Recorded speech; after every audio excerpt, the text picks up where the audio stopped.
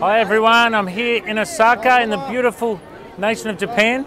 Uh, you can see this is one of the most famous spots here with all these famous lights. Everyone's getting their selfies and their photos taken around here.